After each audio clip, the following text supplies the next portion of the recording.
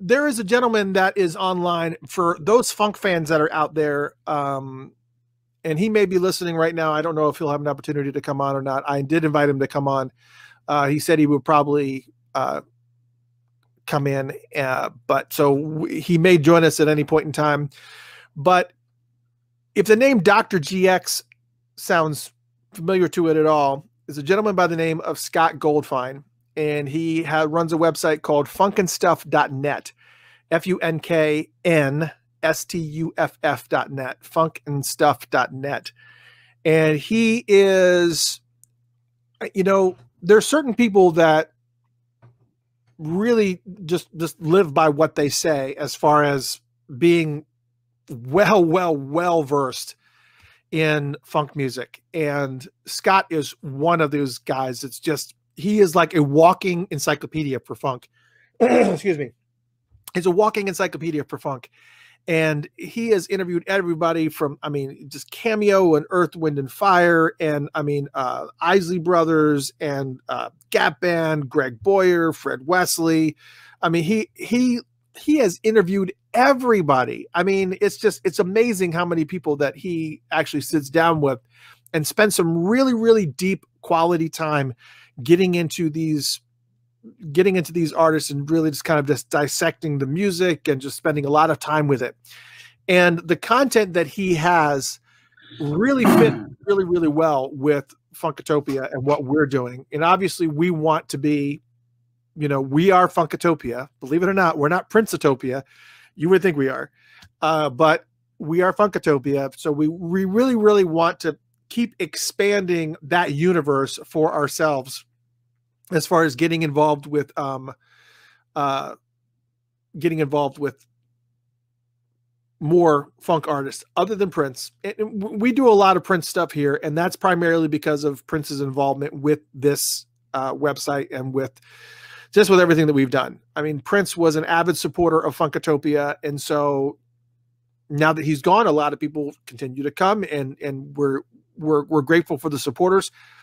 A majority, ninety percent or more of our supporters are Prince supporters, and so you know we're we're always going to to cater to our audience because that's that's who we are.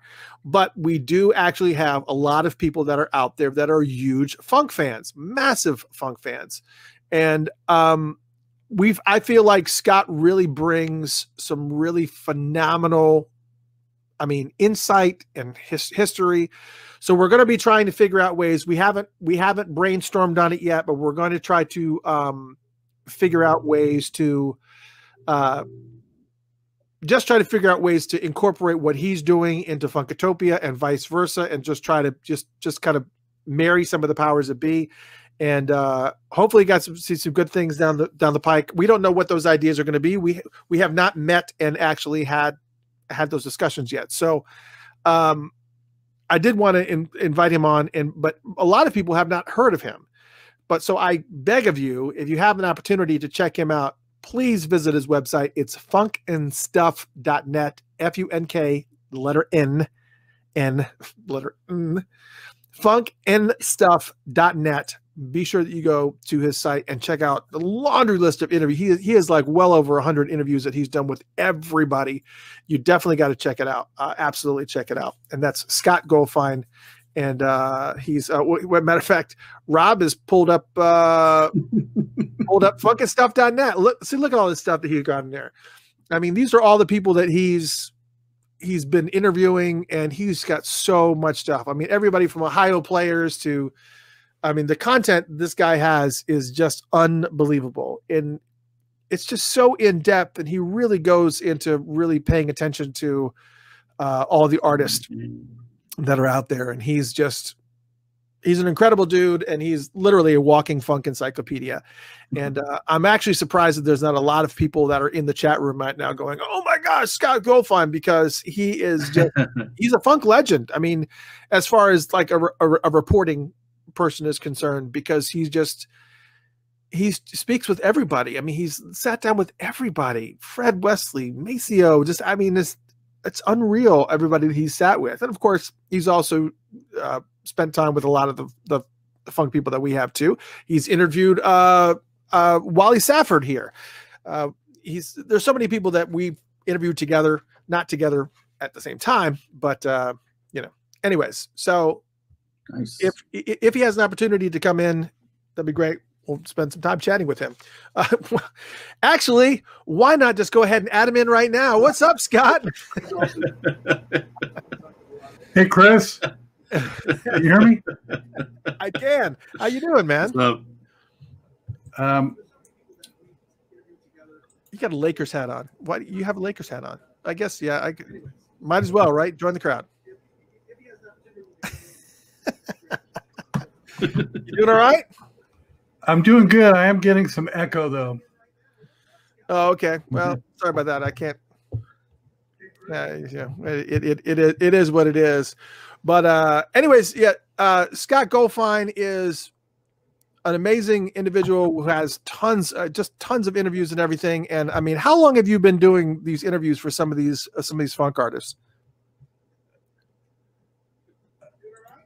Yeah, I'm doing good. I'm just getting an echo. I think I need to find some headphones. Let me um Okay.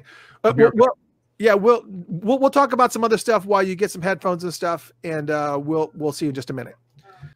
Scott is back with us. I think he may have um, headsets working now, so he may or may not have um, his echo figured out. Scott, you going? How's you got it? You good now?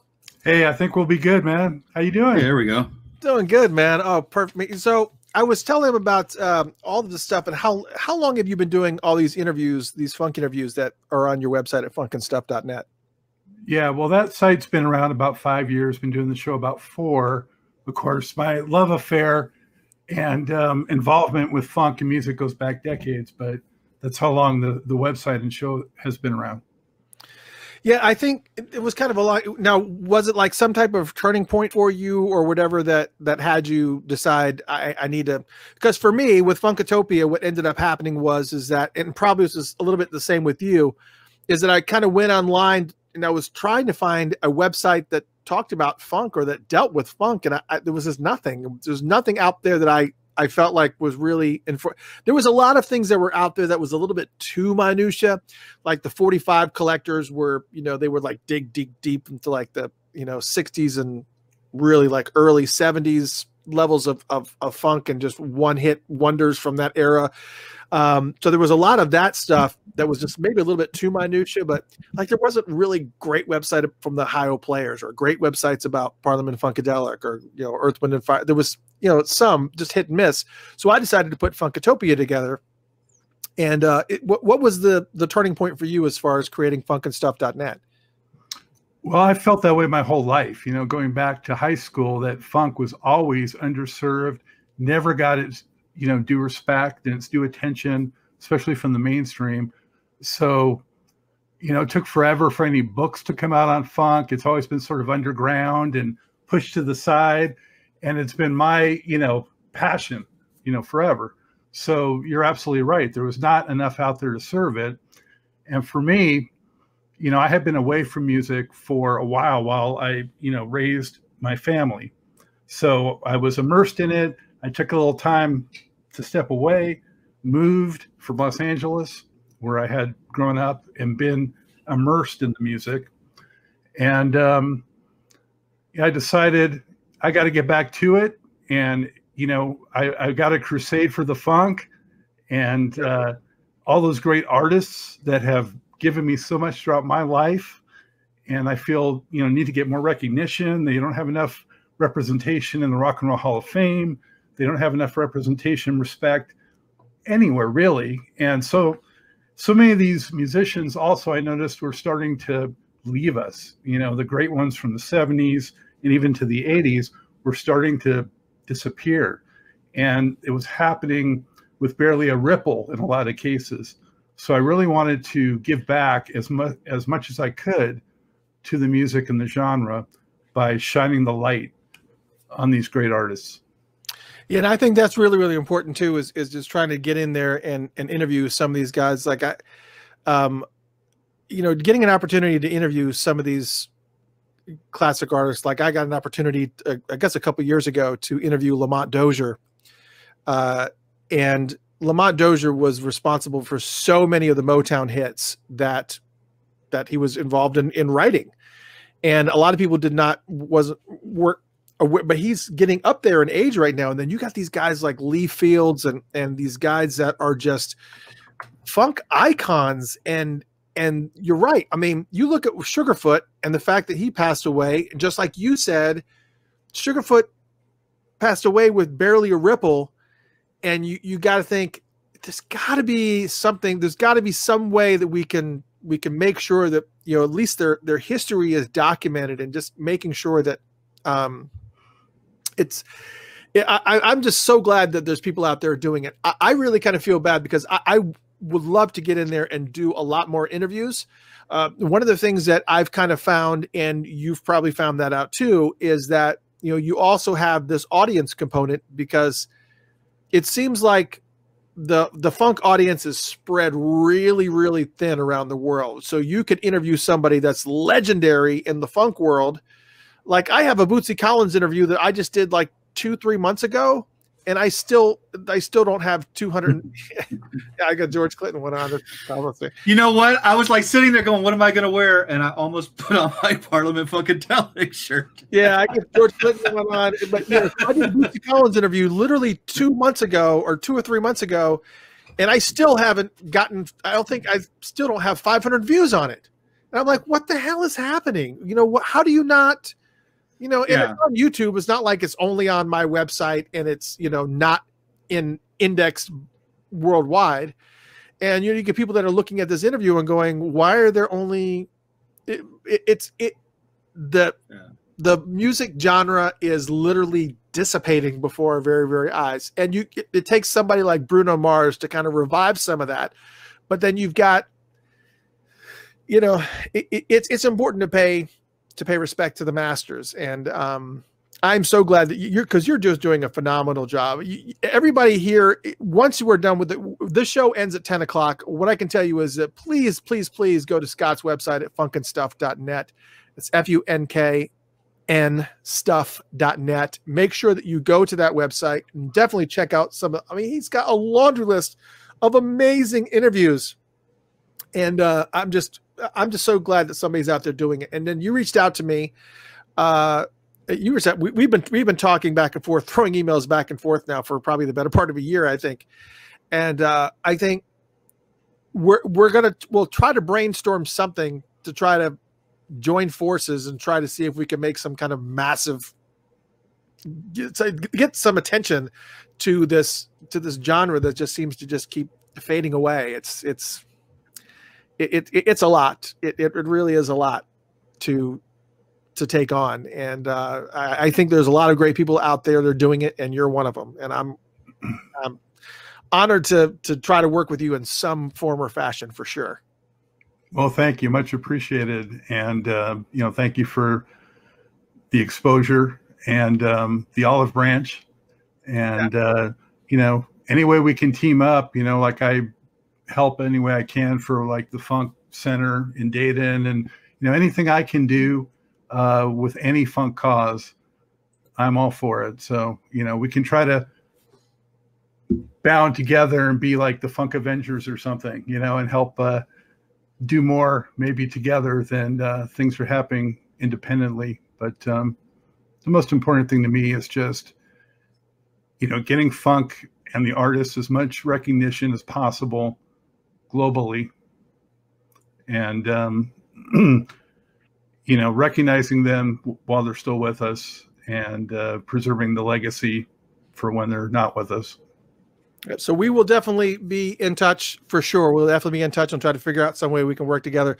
Duane sends his love. He said he used some of your interviews for his second book. So i mean right there that is is is an incredible sponsor because Duane is pretty much every single book that he actually writes is it's like ends up being like the pinnacle of like for instance his uh prince purple rain era studios. Have you read this book? No i i don't know if you can see i got a lot of books back there but not not that one.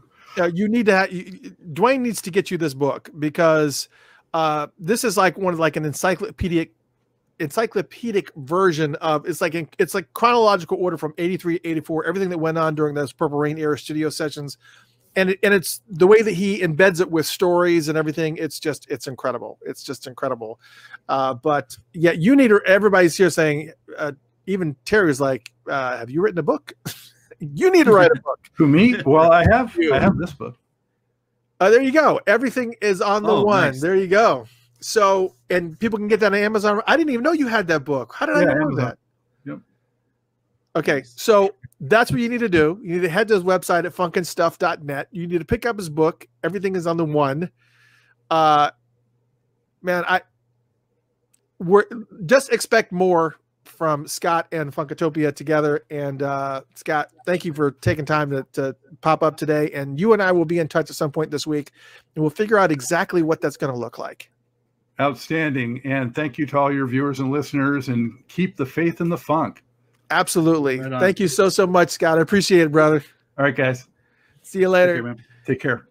And uh, what was this uh, that you posted up here? Oh yeah, Oh, that's on his website, man. That's uh that's uh, Dr. Good Times there with uh Bootsy. there it is. I thought that was pretty cool. Yeah, there's a there's another one there with him and uh ah crap. There's another one there with him and uh well, George. you know who that is, yeah. yeah, yeah. I, I- was I was actually glad to get a but I like this one. That's my favorite. Yeah,